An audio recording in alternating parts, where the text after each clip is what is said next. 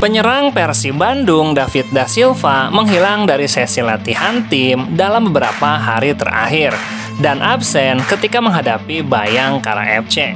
Awalnya David Da Silva dikabarkan izin tidak berlatih karena masalah kesehatan.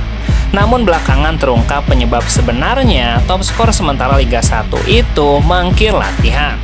David Da Silva dikabarkan memilih mogok berlatih dan bertanding lantaran masalahnya dengan manajemen klub. Hal itu diungkapkan oleh Komisaris PT Persib Bandung, Umuh Muhtar. Umuh menjelaskan bahwa masalah ini diawali dengan masalah uang muka yang belum dibayarkan Persib Bandung. Namun, Persib sejak Selasa 26 Maret sudah menyelesaikan masalah tersebut dengan membayar lunas kepada David Da Silva. Sayangnya, ketika sisa uang muka itu sudah diterima David, Umuh mengatakan ex pemain Persebaya Surabaya itu malah menghilang entah ke mana dan sulit dihubungi. Umuh pun sangat menyayangkan sikap penyerang asal Brazil itu yang tidak mempedulikan timnya. Kemarin ada masalah DP, uang muka, bukan masalah gaji. Gaji semua sudah selesai, DP yang menjadi permasalahan mereka. Ini sudah dibereskan, selasa David tidak latihan, sekarang kita nggak tahu ada tuntutan apa. Tidak jelas, saya belum bisa menjelaskan. Saya nunggu dari agen apa yang sebenarnya menjadi kekecewaan. Umu berharap David bisa bersikap lebih bijak dan profesional setelah menerima sisa uang muka yang sudah dibayarkan. Jangan sampai sikap tersebut memperburuk hubungan Persib yang kini tengah berprogres secara pesat. Kalau ada masalah ya kita minta maaf, tapi agen juga tidak boleh ambil keputusan sendiri. Saya rasa ini tidak bijaksana. David latihan tidak, beritanya gimana? Saya masih mencari jalan bagaimana baiknya tuntasnya.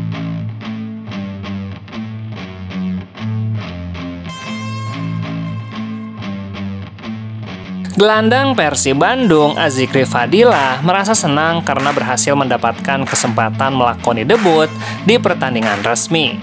Bukan sekedar debut bersama Persib, tetapi itu menjadi debut perdana Azikri di kompetisi Liga 1 atau level senior. Setelah sekian lama bermain di kelompok usia. Bagi Azikri, ini akan menjadi pengalaman tidak terlupakan karena laga debutnya tersebut langsung berhadapan dengan pemain berpengalaman asal Belgia, Raja Nainggolan. Sepanjang 63 menit jalannya pertandingan, Azikri cukup sering melakukan duel dengan Raja Nainggolan karena kesamaan posisi bermain. Namun secara bergantian, Rahmat Irianto juga turut berperan dalam menutup ruang gerak mantan pemain AS Roma tersebut.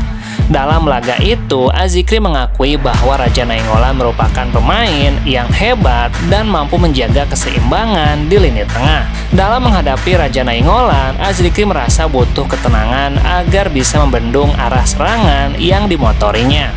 Ia pemain kelas dunia dan Azikri sangat bersemangat untuk bertanding melawannya. Tidak hanya itu, keberadaan Nainggolan di skuad lawan juga membuatnya semakin terpacu untuk menunjukkan permainan terbaiknya. Azikri pun berharap ini akan menjadi bekal berharga bagi masa depannya sebagai pesepak bola profesional. Itu sebuah motivasi buat saya bagaimana bisa menghadapi pemain seperti dia. Itu pengalaman yang sangat luar biasa tuntasnya.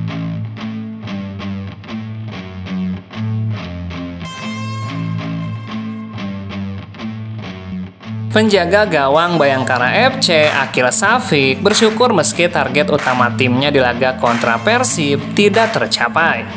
Menurutnya target tim Bayangkara ialah meraih kemenangan, bukan hasil imbang. Tampil menghadapi Persib dengan dukungan supporternya di Stadion Sijalak Harupat, diakui Akil memang tidak bisa dihadapi dengan persiapan biasa perlu kerja keras baik di dalam pertandingan maupun di masa persiapan demi mendapatkan target utama bidikan timnya. Meski target Bayangkara FC sedikit meleset, namun Akil tetap bangga terhadap perjuangan semua pemainnya di dalam lapangan. Ia sadar timnya memang kalah kualitas, namun tidak kalah semangat untuk meladeni permainan skuad Maung Bandung. Hasil imbang ini juga dirasa Akil bisa menjadi modal berharga untuk berjuang dan menghindari zona degradasi. Meski sulit, Bayangkara akan tetap berusaha semaksimal mungkin agar tetap tampil di Liga 1 musim depan.